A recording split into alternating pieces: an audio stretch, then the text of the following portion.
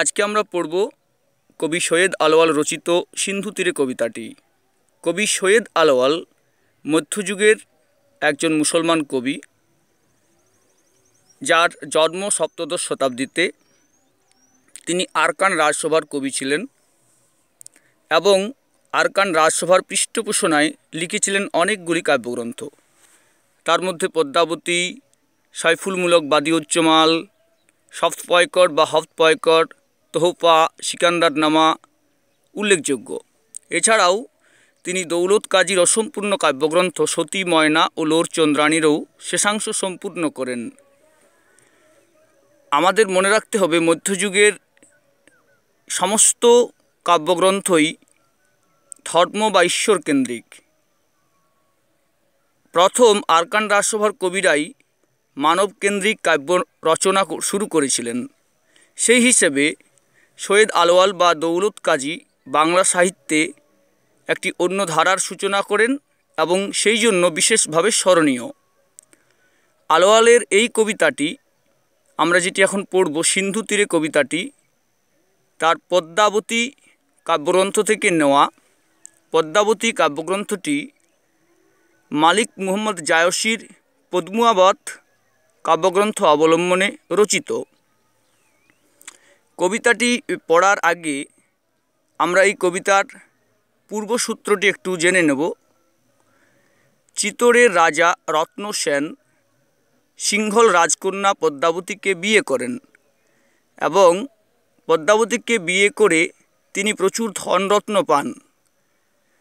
সেই ধনরত্ন নিয়ে তিনি যখন নিজের রাজ্যে ফিরছিলেন, সেই সময় তার মনে এই সম্পদ এবং অর্থের জন্য একটা দারুণ বাসনা জেগে উঠেছিল এবং তিনি ভাবছিলেন, এই সমস্ত ধন সম্পদ নিয়ে তিনি পৃথিবীর অন্যতম শ্রেষ্ঠ ঐশ্বর্যবান মানুষে পরিণত হবেন এবং দ্রুত নিজের রাজ্যে ফিরতে মনস্থ ছিলেন। তো তিনি যখন সমুদ্র পেরিয়ে আসছিলেন, সেই সময় সমুদ্র ব্রাহ্মণের ছদ্মবেশে তার কাছে কিছু ভিক্ষা যায়। তখন তিনি সেই ব্রাহ্মণবেশী সমুদ্রকে কিছু ভিক্ষা দিতে অস্বীকৃত হন, কারণ তিনি মনে করেন ভিকারি ব্রাহ্মণের তার কাছ থেকে কি পাবার আছে, তার প্রয়োজনটাই বা কী? এতে সমুদ্র ক্ষুব্ধ হয় এবং প্রচণ্ড তাণ্ডবে তার যে ধন সম্পদকে একেবারেই লণ্ডভণ্ড করে দেন। এবং তার সাথে যে তার স্ত্রী পদ্মাবতী ছিলেন এবং তার সখীরা ছিলেন, তাদেরকেও উড়িয়ে নিয়ে গিয়ে সমুদ্রের মাঝে ফেলেন। সেইখান থেকে শুরু এই কবিতাটি। কবিতাটি আমরা পড়ছি, কন্যারে ফেলিল যথা, জলেরও মাঝারি তথা, দিব্যপুরী সমুদ্র মাঝার। অর্থাৎ সেই প্রচণ্ড তাণ্ডবে কন্যা অর্থাৎ পদ্মাবতীকে জলের মাঝে যে দিব্য পুরী ছিল, সমুদ্রের মাঝে, সেখানে নিয়ে গিয়ে ফেলল। অতি মনোহর দেশ, নাহি তথা দুঃখ ক্লেশ, সত্য ধর্ম সদা সদাচার। সেই দেশটি অত্যন্ত মনোহর, সেখানে কোনো দুঃখ বা ক্লেশ নেই সব সময় সত্য আছে, ধর্ম আছে এবং সদাচার আছে। অর্থাৎ স্বর্গের মতো সুন্দর একটি জায়গার মাঝখানে যে দিব্যপুরী সমুদ্রের যে দিব্যপুরী সেখানে নিয়ে গিয়ে পদ্মাবতীকে এবং তার সখীদের ফেলল। সমুদ্র নৃপতি সুতা, পদ্মা নামে গুণজুতা, সিন্ধু তীরে দেখি দিব্যস্থান। সেইখানে সমুদ্র নৃপতি, সমুদ্র রাজার মেয়ে পদ্মা থাকেন। তিনিও গুণবতী। সেই দিব্যস্থানে তার অবস্থান। সমুদ্রের তীরে। উপরে পর্বত এক, ফল ফুলে অতিরেক, তার পাশে রচিল উদ্যান। সেইখানে পর্বত আছে, পর্বতে প্রচুর ফুল, ফল এবং আরও অনেক কিছু আছে। সেইখানে তিনি তার উদ্যান রচনা করেছিলেন। নানা পুষ্প, মনোহর, সুগন্ধি সৌরভতর। সেখানে মনোহর সমস্ত ফুল, পুষ্প যাদের সুগন্ধে চতুর্দিকে সৌরভ ছড়িয়ে পড়ছে এবং আছে নানা ফল, বৃক্ষ, সুলক্ষণ এবং সেখানে নানা ফুল, ফল, সুলক্ষণযুক্ত বৃক্ষ আছে। অর্থাৎ সেটি একটি স্বর্গীয় উদ্যানের মতো মনোরম পরিবেশ, মনোমুগ্ধকর একটি জায়গা। তাহাতে বিচিত্র টঙ্গী, হেমরত্নে নানা রঙ্গী তথা কন্যা থাকে সর্বক্ষণ। সেখানে একটি উঁচু মঞ্চের মতো জায়গা আছে এবং সোনা রত্নে ভর্তি। সেখানে বিভিন্ন ধরনের রঙ্গরস করেন কন্যা অর্থাৎ সমুদ্রের মেয়ে এবং সবসময় সেখানে তিনি থাকেন। পিতৃপুরে ছিল নিশি, নানা সুখে খেলি হাসি, যদি হইল সময় প্রত্যুষ। রাত্রিবেলা কন্যা, সমুদ্রের কন্যা তার বাবার কাছে ছিল। সেখানে হেসে খেলে সময় কাটানোর পর যখন প্রত্যুষ অর্থাৎ ভোর হলো, তখন সখীগণ করি সঙ্গে আসিতে উদ্যানে উদ্যানে রঙ্গে সিন্ধু তীরে রহিছে মাঞ্জস তারপর সমুদ্রের কন্যা তার সখীদের সাথে তার নিজের উদ্যানে রঙ্গ করার জন্য যখন আসছিলেন, তখন তিনি সিন্ধু তীরে সমুদ্রের তীরে দেখলেন একটি ভেলাকে। মাঞ্জস শব্দের অর্থ হলো ভেলা। সেই ভেলাকে তারা লক্ষ্য করল। মনেতে কৌতুকবাসী তুরিত গমনে আসি, দেখে চারি সখী চারিভিত। তারা মনের কৌতুকে কৌতূহল নিয়ে যখন তাড়াতাড়ি সেখানে এলেন, তারা দেখলেন চারজন সখী চারদিকে পড়ে আছে, চারিভিত অর্থাৎ চারদিকে। মধ্যেতে যে কন্যাখানি, রূপে অতি রম্ভাজিনী, নিপতিতা চেতন রহিত। সেই চার সখীর মাঝখানে যে কন্যা, তিনি অত্যন্ত সুন্দরী স্বর্গের অপ্সরা রম্ভার মতো সুন্দরী, কিন্তু তিনি চেতন রহিত অর্থাৎ তার চেতনা নেই, নিপতিতা তিনি পড়ে আছেন। দেখিয়া রূপের কলা বিস্মিত হইল বালা, অনুমান করে নিজ চিতে সেই পড়ে থাকা যে মেয়েটি, আমরা জানি সেই মেয়েটির নাম পদ্মাবতী। পদ্মাবতী রূপের যে ছটা দেখে সমুদ্র নিপতির কন্যা যাকে বালা বলা হচ্ছে, বিস্মিত হইল বালা। বালা মানে কন্যা, তিনি বিস্মিত হলেন এবং নিজের মনে মনেই অনুমান করছেন তিনি। অনুমান করে নিজ চিতে চিতে মানে চিত্তে মনে অনুমান করে নিচ্ছেন, ইন্দ্র সাপে বিদ্যা ধরি, কিবা স্বর্গভ্রষ্ট করি, অচৈতন্য পড়িছে ভূমিতে।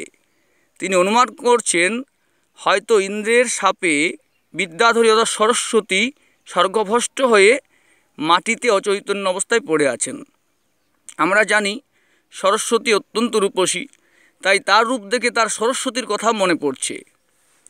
ব্যাকত দেখিয়ে আঁখি তেনশ বসন সাক্ষী, বেথানিত হইছে কেশবেশ চোখ বিস্তৃত করে তিনি দেখছেন, বিস্ফারিত করে দেখছেন, তার সেই বসন সাক্ষী আছে, তার পোশাক সাক্ষী আছে, এবং তার যে কেশ এবং বেশ, চুল এবং পোশাক বেথানিত অর্থাৎ আলুথালু হয়ে গেছে।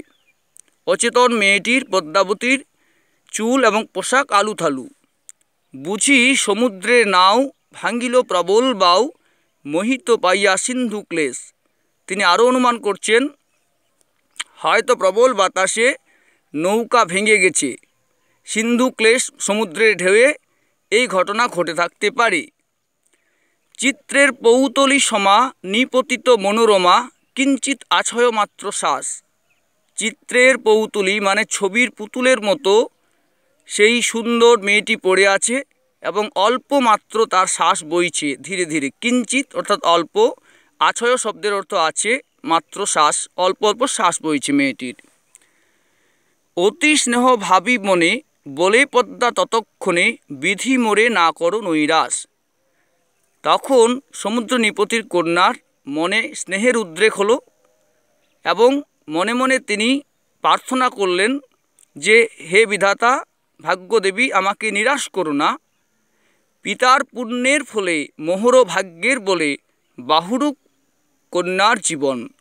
আমার পিতা সমুদ্র, সমুদ্রের যে পুণ্য ফল এবং আমার যদি ভাগ্যফল থাকে, সেই দুয়ে মিলে এই মেয়েটির জীবন বেঁচে যাক। চিকিৎসিমু প্রাণপণ, কৃপা করো নিরঞ্জন, দুঃখিনীরে করিয়া স্মরণ একে আমি চিকিৎসা করব প্রাণপণে। হে নিরঞ্জন, হে শিব, আপনি কৃপা করুন, আমি দুঃখিনী। এই মেয়েটির দুঃখ দেখে আমি দুঃখিনী। আমি আপনাকে স্মরণ করছি, আমি যেন সফল হই। এইখানে আমরা সমুদ্র নিপতির কন্যার ভিতরের যে মানবতা এবং অপরের প্রতি সহানুভূতি, সহমর্মিতার দেখা পাচ্ছি। এইটি একটি অত্যন্ত বিরল ব্যাপার। মানুষের মধ্যে সবসময় এই গুণ আমরা দেখি না। সেই গুণে সমুদ্র নিপতির কন্যা গুণবতী। তিনি যেমন রূপবতী, তার মনটিও তেমনি ততই সুন্দর। সখী সবে আজ্ঞা দিল, উদ্যানের মাছে নিল পঞ্চজনে বসনে ঢাকিয়া। তার যে নিজের সখী ছিল সমুদ্রকন্যার, সেই সখীদেরকে তিনি আজ্ঞা করলেন, উপদেশ দিলেন এবং পাঁচজনে মিলে তাকে উদ্যানের মাঝে নিয়ে গেল। সেই যে তার সুন্দর মনোরম উদ্যান সেখানে। এবং বসন দিয়ে যথারীতি ঢেকে তার যে আলুথালু বসন হয়ে গেছিল পদ্মাবতীর, সেগুলোকে ঠিকঠাক করে বসন দিয়ে ঢেকে তাকে নিয়ে গেল। অগ্নি জালি ছেকে গাও, কেহ শিরে কেহ পাও, তন্ত্রে মন্ত্রে মহাঔষধি দেয়া।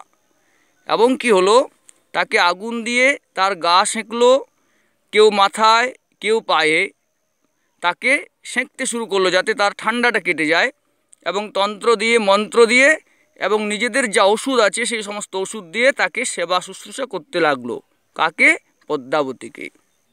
দণ্ডচারী এই মতে বহু যত্নে চিকিৎসিতে পঞ্চকন্যা পাইলা চেতন।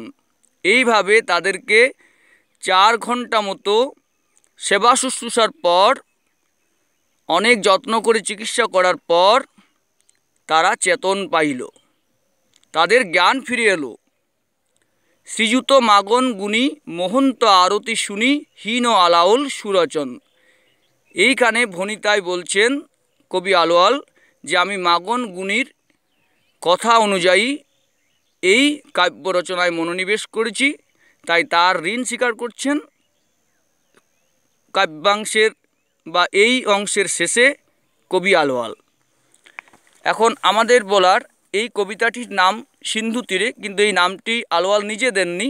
এটি যারা আমাদের পাঠ্য সংকলনে কবিতাটিকে নির্বাচন করেছেন, তারাই নামটি দিয়েছেন এবং অবশ্যই একটি যথার্থ নামেই তারা দিয়েছেন।